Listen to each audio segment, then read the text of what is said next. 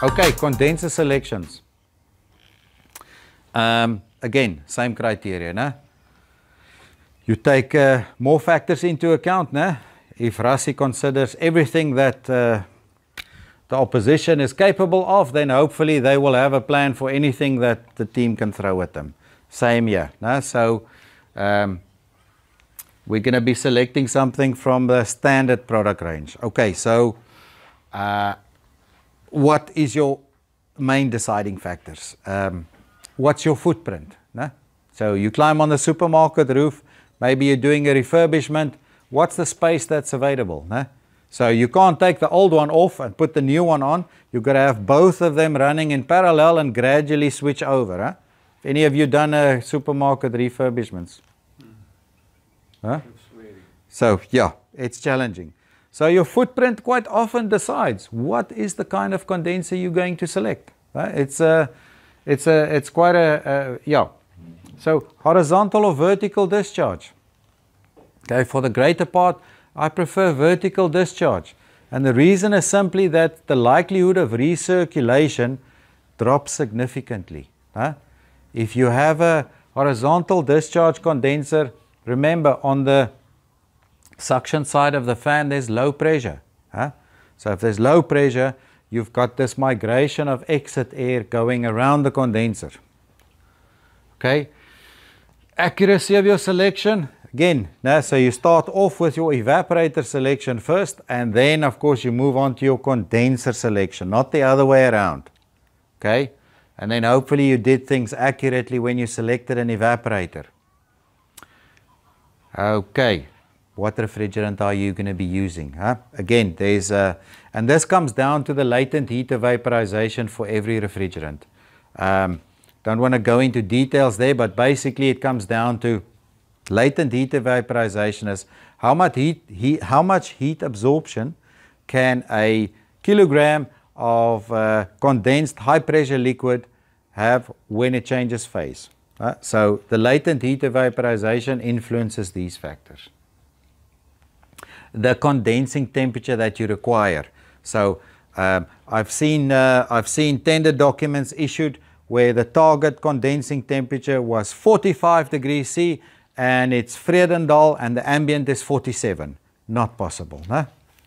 So you can't have the target condensing temperature colder than the ambient air that you're going to use. So sorry if that sounds facetious, but it does seem to puzzle some folks. Okay, and remember your ambient air is the air that you're going to draw into the condenser. Now, why do we use air? Well, it's free, huh? So uh, it's, uh, you know, it's an option. Uh, you can use water, but air is most commonly used. Okay, and the altitude. Where is your condenser going to operate? Now, the air is thinner in Johannesburg and Cape Town air, a cubic meter of air is 1.2 kilograms per cubic meter. I think it's like uh, 989 kilograms in, in Johannesburg. So hopefully it makes sense. Your fans doesn't know the density of the air. The, your fans draws a specific volume through the coil. So if the air is less dense, the fans work longer to draw the same volume across the coil so you can understand, hopefully, that condenser in Johannesburg is less effective. Huh? Because it's about the mass flow of air drawn across the condenser coil. Um, again, you have inner groove tubing, gives you bigger uh, uh, surface area on the inside of the, of the tube. Um, not always uh, possible because of high pressure that some uh, systems might operate. Aluminium fin, hydrophilic coated fin, when you're in Hermanus, you want some protection on the fin material. Huh? And uh, some people love copper fin. It's extremely costly, it's very heavy, but it is the specification that uh, I believe was the norm for many retailers for a very long time. Uh, I think they've changed that for the greater part now. Uh, yeah, and of course the casing, mostly galvanized casings that powder coated, especially the standard product range. Okay, that's what the catalog looks like. And uh, if you're a melancholy, you like columns and tables and, okay. Again, where's your condenser? Nah? So you want to, um, you, how do you calculate your um, condenser's capacity? Well, um, you start off with uh, the heat load and you uh, add the input power of your compressor. And that ultimately gives you your total heat rejection. So it's as simple as that. Huh? So whatever energy your compressor draws from the grid, that energy is turned into heat energy and it's added to the heat energy you're absorbing in the evaporator and the sum of those two you need to reject outside. Huh? So all that electrical energy your compressor consumes ends up in the refrigerant. Huh? It adds to your condenser's load. Okay, so your total heat rejection is your heat absorbed plus your compressor power. You turn the amps into wattage and you add it to the evaporator's load. Okay, and that's your total heat rejection. Okay, and then what safety factors do you apply? Hey, is it an ice cream freezer room for the super spar in Paarl? You're going to add a safety factor. Yeah, I would suggest one. Huh? If your ice cream room goes down, you get as few places you're going to be able to hide. Huh? If it's a bakery cold room, no, it's less crucial. If it's a meat packing area, it's less crucial. Huh? So, uh, okay, so your safety factors you can add on top of that. And again, that's something you, you have to develop over time. That's hopefully expertise your customer is paying you for when you claim to be experienced. All right. The calculation is a little longer but very similar. Again, you start with a target load, but you apply two additional factors. Okay, so um, the first factor is the delta T. So the catalog shows you a heat rejection when the delta T is 15K. So the catalog figures is quite often published. You must read the, read the page. The, the published figures is with a split at 15K split. So in other words, if the ambient air is 30 degrees Celsius, then you can condense at 45 and that's the duty the condenser will offer with a 15k split. Okay, so hou kop daarson, hè. What is the split you might have on the site? And there's a small formula you apply. The F2, that's your correction factor for your refrigerant. Quite easy, hopefully. And then your um, your geographical factor, huh? the altitude above sea level as you go up, as you approach Joburg, then of course the air gets thinner and you might need to size a condenser a little bigger. Huh? And uh, of course, what material are you going to be using? Okay, quite important. What kind of condenser do you like? Remember we started off vertical discharge, horizontal discharge. Now, so what's the customer want? Whatever is the cheapest. Okay. So there's many options there, and uh, of course, of course, uh, uh, um, you have um, a variety of condensing units there. Vertical discharge, the V type is quite popular, and of course, then you draw air in from both sides. Discharge vertical. Okay, condenser selection. Let's start with that cold room that we had initially. Okay, um, so our heat load was 3.2 kilowatt. We want to have the room operating at zero. Your refrigerant is R134A. Your ambient is 38. Nah? Where's the 38? Stephen? What's the ambient in Paarl? 42. Maklik. Yeah? So this is obviously not Paarl. Maybe it's Parow. Okay, 38. Your condensing temperature, you want to condense at 45. What's the delta T? What's the difference between 45 and 38? Okay, so it's at sea level. It's at sea level and the specification says it must be coated fin, eh? hydrophilic coated fin. Okay, so that's something you need to consider as well. So I've just taken a clip from the Frascold, the compressor selection software. And uh, there uh, I selected a compressor. So you see there's the evaporative capacity. Our target is 3.2. Now, I can't find a compressor that's going to do exactly 3.2. Nah? Closest one I can find is going to do 3.3 kilowatt. Okay? So 3.3 kilowatt, that's close enough. I'm happy with that.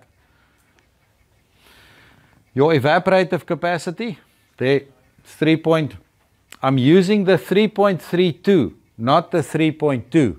Nah? So my condenser needs to reject the heat, not the theoretical figure I'm using, but what's the compressor going to do? So I use that value. When you have a big system, there could be, that discrepancy could be bigger. So I'm using the evaporative capacity the compressor can offer, and of course, what is the input power? The compressor is going to require 1.26 kilowatt to deliver those conditions with 134A. And that's adds up to 4.58 kilowatt. Okay, so that's your, that's what you start off with, right? Now that formula there, 7, our delta T is 7, divide by 15, that's our value there, that's F1. We apply the rest. 134A, the conversion factor for 134A is 0 0.93. Huh? The uh, aluminium fin that we're using is there. Oh, sorry, sea level is 1. And then uh, the hydrophilic coated fin is 0.97. You lose a bit of capacity when the fin is coated. Huh? So, small bit, but you lose a bit of capacity. And then again, you have to add a safety factor. Are you going to apply a safety factor? You know your site. You know what's at risk. Huh? So, you can apply the spur uh, sign, uh, go big or go home, but ultimately you got to apply something that is going to make financial sense. And in most cases, you're quoting against someone else. Nah? So you got to nitpick. You got to nitpick where you're possible. You can sharpen your pencils where possible and not be excessively uh, big on everything. Okay, so our target there was 10,87. You go to your tables, 10,87. Okay. 10,3. Henny, you happy with 10,3? It's a bietjie eina. Huh? Okay, so let's go for the 11,7. Then there's a bit of a safety factor. Huh? Okay, so that is a base mounted horizontal. Okay, it's one of those those animals there, so that's an option. Huh? So now but basically what I'm trying to get you to understand is you calculate a value and then you look at the values in the, the nominal values in the table. Just read the instructions from the supplier that you're working with. Huh? It's not that complex. Hopefully we make it as simple as possible. But what you got to understand so you don't cheat yourself with the formulas is that when you apply an altitude factor, obviously the air is thinner. Uh, when you apply a, a, different refrigerant, some refrigerants is more effective than others. Uh, okay. You guys look really tired. Okay. Condenser. Let's do another example. Let's say your heat load is 24 kilowatt. Freezer room. Nah, Jock, it's your ice cream room. That customer doesn't take any prisoners when the ice cream goes pop. Okay? Yeah. Sorry, why is 404 standard refrigerant? It's uh, most commonly used. Uh, it's an HFC. So the figures, uh, so in, some, in some cases, your, uh, your capacity improves with 404 over 507, if that's what you're asking. Yeah, no? I can confirm that. Yeah. So, so uh, yes, certainly, uh, I would say uh, 404 for low temperature conditions is uh, preferred, um, but uh, you know everything has its vices. Um, again, I've taken a, a, compressor from the Frascold selection software, and there you have the the power input. Um, okay, so uh, we have uh, we have uh, how did I get to that? 26 kilowatt 26.1 what did I do there? Okay there's a ah there it is. The 26 26.61 that's your evaporative capacity the compressor will offer no? it's not the 24 kilowatt that your theoretical heat load is huh? does that make sense? And there's your power input and the sum of that of course is 44 kilowatt. Okay? Again your formula there but look at that 38 versus 43 nah? I want to condense a bit lower. So it's quite common for low temperature rooms uh, they want the system to condense a little bit lower and that is simply to reduce the discharge temperature in most cases now that's the main uh, reason for that. So 43 difference between 43 and 38 is 5 uh, so that's that's your 5 there 5 divided by 15 apply the formula and uh, your nominal value is 147 kilowatt. Okay. You can apply a safety factor. Uh, so again you know your site application. There's your uh, v-shaped condensers. Okay that's an option. And uh, of course your flat deck vertical discharge. In both cases it's vertical discharge. And uh, just note of course please um, with the v-shaped and uh, the twin row flat deck units you actually have two separate coils you have your coil on the left hand side and the right hand side and you have to tube them together nah? so it's not it doesn't don't take it for granted that they are that they are piped together um, certainly, we've built many systems where you have a, a empty A on the left hand side and empty B on the right hand side.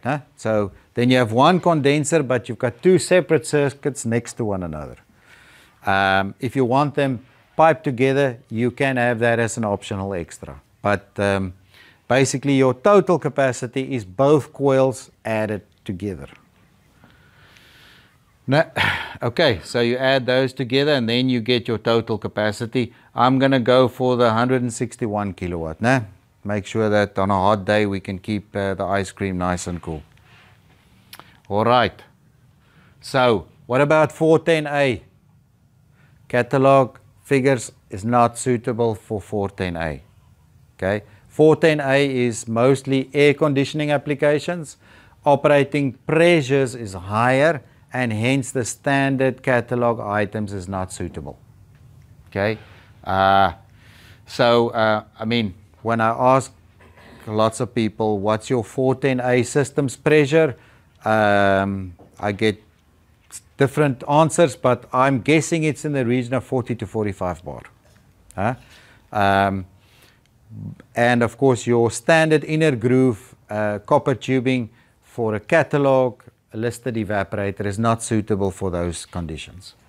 Um, HFC systems 410, uh, uh, 404, uh, 507, your pressure relief valve on your liquid receiver is going to be 31 bar uh, or 450 psi. Okay, any questions? We're almost halfway.